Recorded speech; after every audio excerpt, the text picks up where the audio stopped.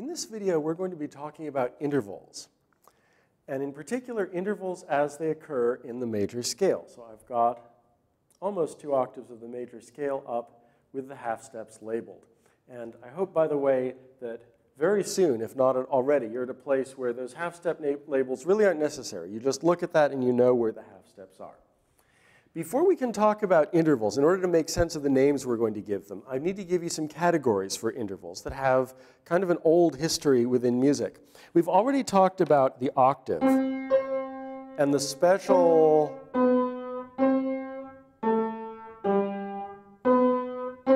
way that two notes that are, that an octave apart fit together. There's kind of a ring there. They, they really fit together evenly.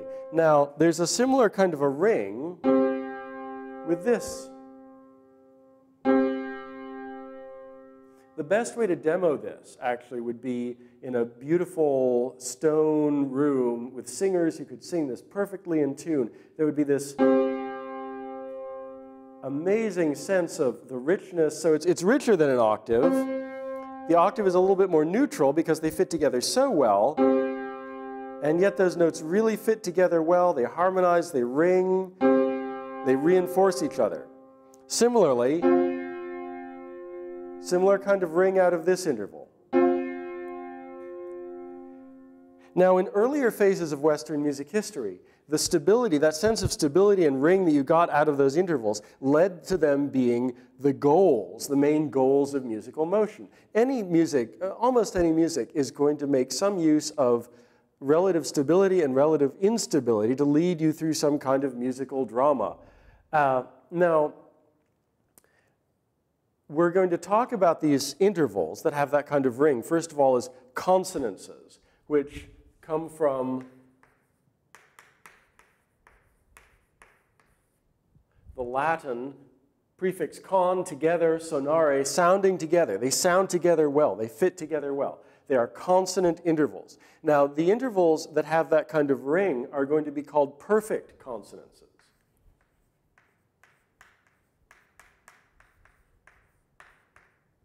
Now, this term is important to, to be clear on. Why do we call this perfect? These days, the word perfect has evolved in such a way that it basically means lacking flaw. These shouldn't be thought of as consonances that lack flaws. There's an older sense of the word perfect, which means having reached its intended goal or complete.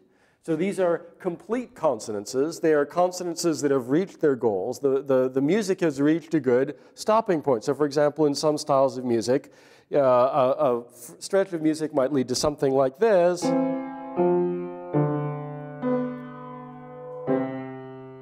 when we get there to that perfect consonance at the end, I'll play that again.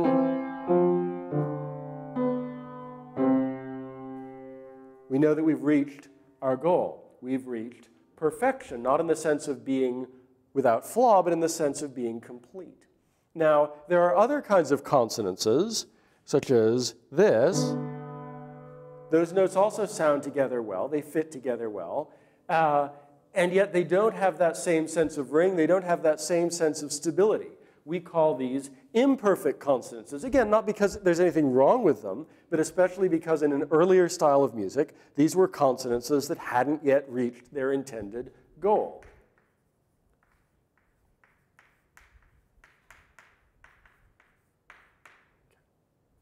Finally, we have what are called dissonances.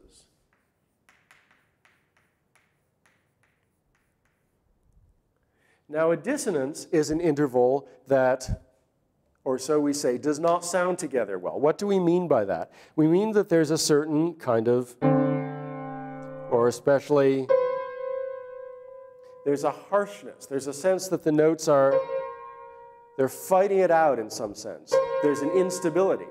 Now, this isn't to say it's ugly. Dissonance can be tremendously beautiful. It can be used, and if there were no dissonance, music would be pretty boring unless composers were really, really creative with other things.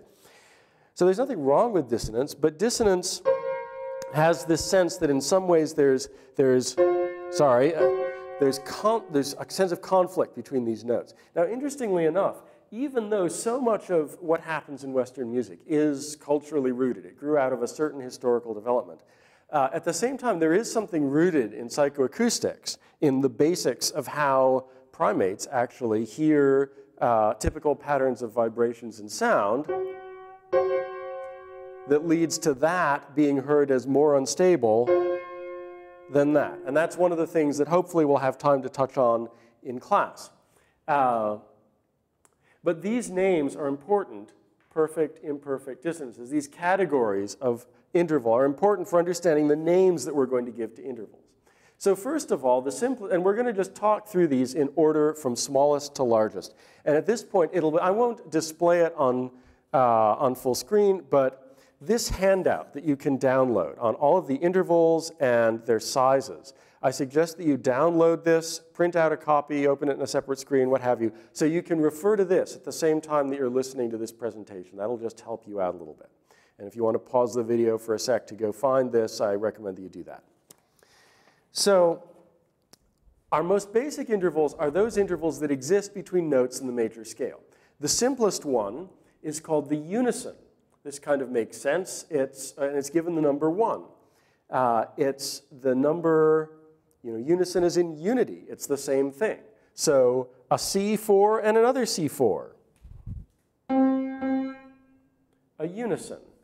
Now, a, more specifically, a perfect unison, because a unison, again, has that kind of simple fitting together that an octave does, even more so.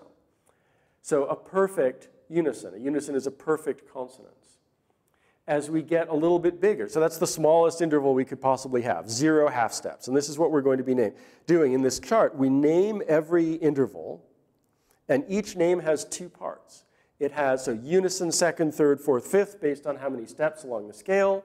It also has a quality because you have different sizes of fifth, different sizes of third, uh, and there will be quality words that we're using. Each, it also has an abbreviation, so perfect unison is abbreviated P1, and there's a number of half steps. So that's what we're going to be working through. Now, as we get a little bit larger, the notes that have, the interval that has one half step is, of course, the half step also known, and it occurs right here in the scale, also known as a minor second. Why? Because anytime we count intervals, we're going to start on the first note of the interval, and we're going to go to the second. One, two, it's a second.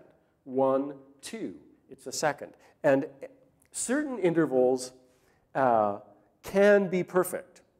Other intervals cannot be perfect. So a, a unison is a kind of interval that can be perfect. A second is never perfect. There is no such thing as a perfect second. And any interval that cannot be perfect comes in two main species called major and minor, simply using the, sorry, that's not visible. Let me do that again. Two main species. So if it's perfect, it's perfect. Otherwise, major and minor from the Latin words for large and small. So the second, as you go from one step to another, that's going to be called a second, one, two. The small one is the half step, one, one half step containing. The larger one, one, two, one, two. Most of them, really, one, two. Most of the seconds are major seconds. They're whole steps. They contain two half steps.